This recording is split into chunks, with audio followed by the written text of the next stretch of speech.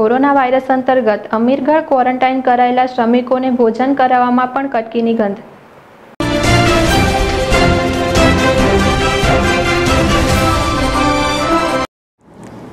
હાલ દેશમાં કોરોનાના લીધે હાહાકાર મચી ગયેલ છે. ભારતના વડાપ્રધાન મોદીએ સૌ પ્રથમ એકવીસ દિવસનું લોકડાઉન કરેલ હતું. ત્યારબાદ ફરી ત્રીજી મે સુધી લોકડાઉન વધારેલ હતું અને વડાપ્રધાન દેશની જનતાને આવા સમયે સેવા કરવા માટે આહવાન કરેલ હતું. અને જનતા સેવા કરવા માટે આગળ પણ આવી હતી. ત્યારે બનાસકાંઠાના અમીરગઢ બોર્ડરથી રાજસ્થાન જતા લોકોને અટકાવી અમીરગઢ મોડલ સ્કૂલ તેમજ જોરાપુરા આદર્શ કન્યા વિદ્યાલયમાં ક્વોરન્ટાઇન કરાયા હતા. ત્યારે આ લોકોની જમવાની તેમજ રહેવાની તમામ જવાબદારી સરકારશ્રીની સીરે હતી. તેમ છતાં અમુક સેવાભાવી સંસ્થા તેમજ કેટલા દાતાશ્રીઓ શ્રમિકોની મદદે આવી ભોજન તેમજ ચા નાસ્તાની વ્યવસ્થા કરી પુણ્ય કમાતા હતા. તેવામાં તારીખ એકત્રીસ ત્રણ બે હજાર વીસના રોજ પાલનપુરની એક સંસ્થા દ્વારા સાંજે દોઢસો માણસો માણસોને ભોજન કરાવ્યું. ત્યારે અમુક શ્રમિકો બાકી રહી જતા અન્ય જગ્યાએથી સુવિધા કરી ભોજન કરાવેલ હતું. તેવામાં અમીરગઢ મામલતદાર શ્રી સીવી પ્રજાપતિને રમેશભાઈ દરજી, પોપટલાલ અગ્રવાલ તેમજ ભૂપેન્દ્રભાઈ મોઢ નામના ત્રણ વ્યક્તિ મરીને ક્વોરન્ટાઇન કરાયેલા વ્યક્તિને ભોજન કરાવ્યું હતું. ત્યારે તારીખ એક ચાર બે હજાર વીસથી ત્રણ ચાર બે હજાર વીસ સુધી આ ત્રણેય કોન્ટ્રાક્ટર પાંચસો એકાણું માણસોને બંને ટાઈમનું ભોજન સવારે ચા નાસ્તો તેમજ બપોરના ચા આપવામાં આવી હતી. જેમાં જમવાની ડીશ દીઠ એક માણસના એક ટાઈમના એંસી રૂપિયા, સવારે ચા નાસ્તાના રૂપિયા પચીસ તેમજ એક ટાઈમ ચાના રૂપિયા દસના ભાવ મુજબ આપવાનું હતું. આમ કુલ દિવસ ત્રણ દિવસનું તમામ બિલ. રૂપિયા એક લાખ પંદર હજાર બસો પિસ્તાલીસ રૂપિયાનું બિલ. ભાગ્યલક્ષ્મી કેટરસ અમીરગઢના જીએસટી વગરના બિલ ઉપર લખીને અમીરગઢ મામલતદારને અપાવ્યું. ત્યારે આ બિલની તપાસ કર્યા વગર બિલની રકમ રમેશભાઈ અમરાજી છીપા નાંબો ચેક લખી આપ્યો હતો.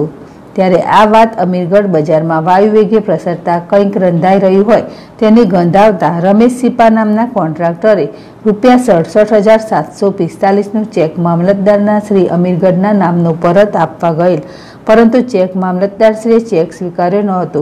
અહીં સુધી તો બધું ઠીક હતું, પણ જ્યારે એક લાખ પંદર હજાર બસો પિસ્તાલીસ રૂપિયાનું બિલ અપાયું, જેનો ચેક પણ મરી ગયેલ અને હોબારો થતાં સડસઠ હજાર સાતસો પિસ્તાલીસ રૂપિયાનો ચેક પરત આપવાની નોબત કેમ આવી સમજાતું નથી. શું કંઈક રંધાઈ રહ્યું છે કે પછી કંઈક અલગ વાત છે?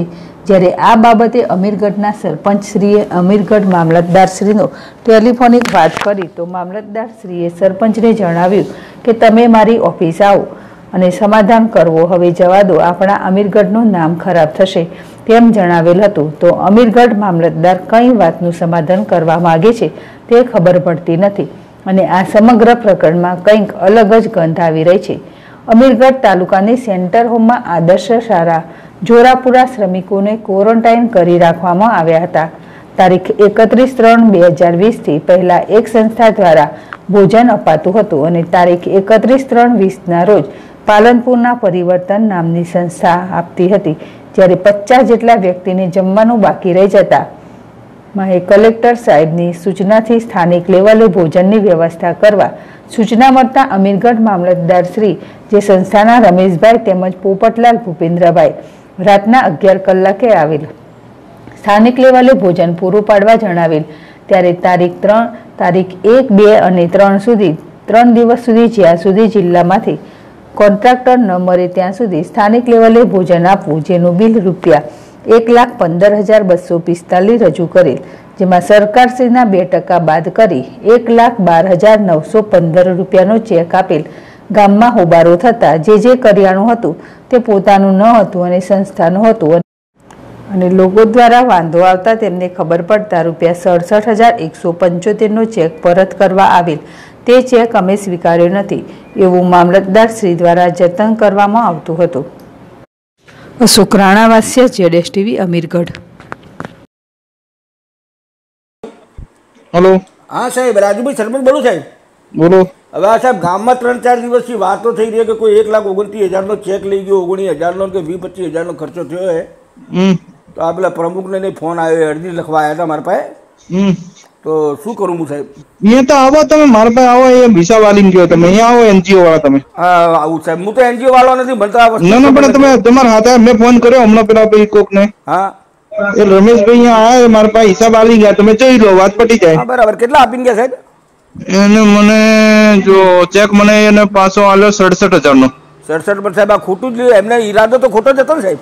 વાત તો વાત બધી વાત સાચી પણ હવે તો શું કરીએ? કોઈ યાર અમારે તો હવે ના, ના, અમારે ના, તો તમારે કોઈ વાંધો તમારે તો કોઈ પ્રશ્ન નથી પણ આ લોકો કેવા છે તમે દેખી લીધું હા પણ સડસઠ હજાર એકસો ને પંચોતેર નો મને ચેક પાછો આપી ગયા. તો સાહેબ હજી હજી બી એમાં એમને વીસ પચીસ હજાર નો લોચો કર્યો પણ. મોઈ ગયો મોઈ ગયો. તમે આવો ને આપણે સમાધાન કરો ને વાતનો પાર આવેલા એમ. આપણે ખોટો અમીરગઢ ના, ના, તાલુકાનું ખરાબ દેખાય. ના ખરાબ ખરાબ દે હો સો ટકા તમે આવો તમે હું બતાવી દઉં તમને એટલે વાત અત્યારે પૂરો થાય યાર બીજું હાજી હાજી હાજી હો? જે ભોજન બાબતની થઈ છે, એ વિશે શું કેવું થાય છે આપણે અમીરગઢ તાલુકામાં સેન્ટ્રલ હોમમાં આદર્શ મોડલ શાળા અને જોરાપુરા કન્યા શાળામાં શ્રમિકોને રાખવામાં આવેલ છે.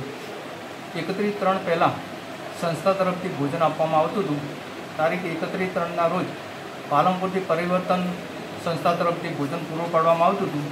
ભોજન લાગણ ઘટ પડવાથી પચાસ જણા શ્રમિકો જમવાનું રહી જવાથી મહેરબાન કલેક્ટર સાહેબની સૂચનાથી સ્થાનિક લેવલે ભોજનની વ્યવસ્થા કરવા જણાવી જેથી અમોએ જે ભોજન પૂરું પાડતા હતા તે સંસ્થાના રમેશભાઈ પોપટલાલ તથા ગુદરેજભાઈ રાતના ઉમેન્દ્રભાઈ રાતના અગિયાર વાગે જેવા આવેલા તે મોડલ સ્કૂલમાં અમે સ્થાનિક વ્યવસ્થા કરવા માટે તેમને જણાવતા તેમને પહેલી બીજી ને ત્રીજી ત્રણ દિવસ મૂકી જ્યાં સુધી જિલ્લામાંથી કોન્ટ્રાક્ટર ભોજનનો ન પૂરો પડે ત્યાં સુધી સ્થાનિક લેવલે વ્યવસ્થા કરવા જણાવતા તેમને ત્રણ દિવસ સુધી ભોજન આપવામાં આવેલ છે.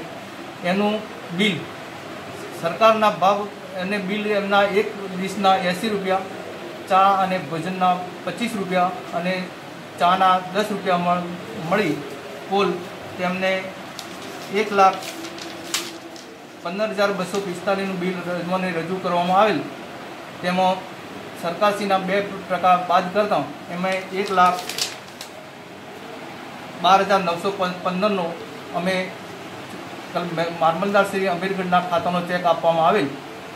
ચેક આપ્યા બાદ ગામમાં ઉહાભો થતો કે એમને જે- કરિયાણાનું જે વાપરવાનું હતું તે પોતાનું ના વાપરી, સંસ્થાનું જે પડેલ તે વાપરવાથી એનજીઓ દ્વારા વધો રજૂ થઈ અને કે અમારું કરિયાણું વાપરેલ છે.